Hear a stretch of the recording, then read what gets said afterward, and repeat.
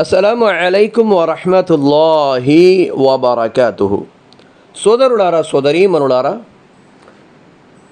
దైవ ప్రవక్త హజరత్ మొహమ్మద్ సల్లల్లాహు అలహి వసల్లం ఎన్నో విషయాలు తెలియజేశారు. ఒక ముస్లిం స్వర్గముకి వెళ్ళాలి అంటే ఎలాంటి పుణ్యకార్యాలు చేయాలి? ఒక ముస్లిం నరకం నుంచి రక్షించబడాలి అంటే ఎలాంటి పాపకార్యాలకు దూరంగా ఉండాలని ఎన్నో సందర్భాలలో దైవ ప్రవక్త సల్లల్లా అలైహి తెలియజేయడం జరిగింది.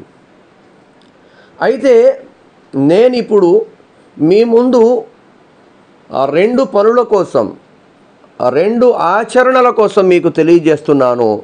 ఆ రెండు ఆచరణలు చేస్తే దైవ ప్రవక్త సల్లల్లాహు అలహీ వసలం అన్నారు వారికి స్వర్గం యొక్క బాధ్యత నేను తీసుకుంటానన్నారు. ఆ రెండు పనులు చేస్తే ఏంటండి? వారికి స్వర్గం యొక్క బాధ్యత నేను తీసుకుంటాను. సోదరులారా సోదరీమణులారా మరి ఆ రెండు పనులు ఏమిటి?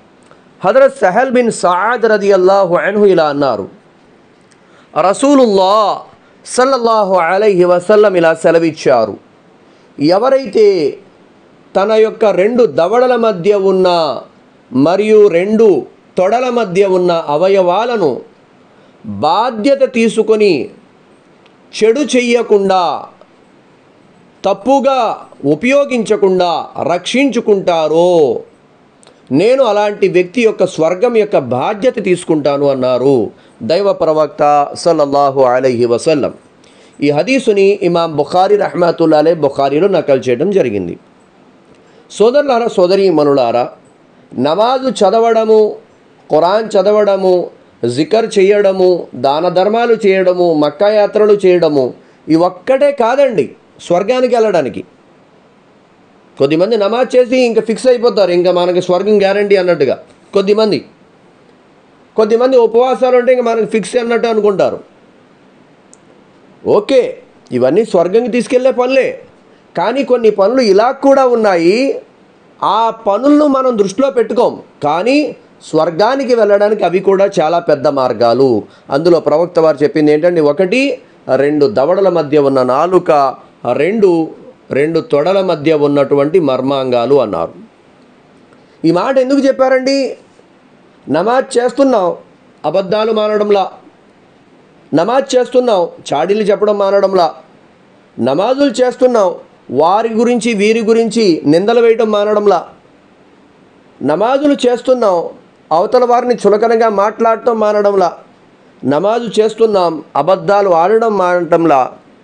మరి సోదరులారా సోదరీమరులారా ఇన్ని నమాజులు చేసినప్పటికీ మన నాలుకను మనం కంట్రోల్లో ఉంచకపోతే అది మనల్ని నరకంకి తీసుకెళ్తుంది అనడంలో ఎలాంటి అనుమానం కూడా లేదు.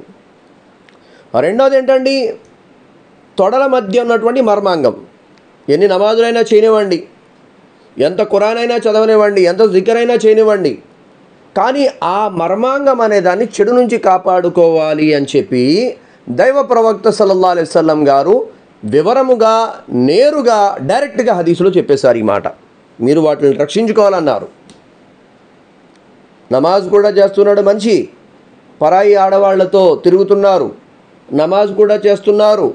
పరాయి మగవాళ్ళతో సంబంధాలు పెట్టుకుంటున్నారు అంటే మన ఈ పాప కార్యం నరకానికి తీసుకెళ్ళడానికి ఒక మార్గం అయిపోతుంది అదే మనం గనక కేవలం నమాజులు చదువుకుంటూ జికర్ చేసుకుంటూ ఉపవాసాలు ఉంటూ ఏమిటండి? నాలుగు నదుపులో ఉంచుకున్నాం. మన యొక్క మర్మాంగాల నదులో ఉంచుకున్నామంటే ప్రవక్త వారు అన్నారు వాళ్ళకి స్వర్గం యొక్క బాధ్యత నేను తీసుకుంటానయా నాది గ్యారంటీ అన్నారు. దానికోసమే సోదరులారా సోదరీమణులారా ఈ రెండు అవయవాలు మన యొక్క నాలుకను మన యొక్క రెండు తొడల మధ్య ఉన్నటువంటి మర్మాంగాలను చెడుకి వినియోగించకుండా మనం రక్షించుకునేటువంటి ప్రయత్నం చేస్తే ప్రవక్త వారు మన స్వర్గం యొక్క బాధ్యత తీసుకుంటారు అన్నారు. అల్లా తబారకుతాలా మీకు చెప్పేటువంటి అల్పుడైనటువంటి నాకు కూడా ఆచరించేటువంటి సద్బుద్ధిని సౌభాగ్యాన్ని ప్రసాదించుగాక. అస్సలం అలైకం వరహమతుల్లాహి వబర్కాతుహు.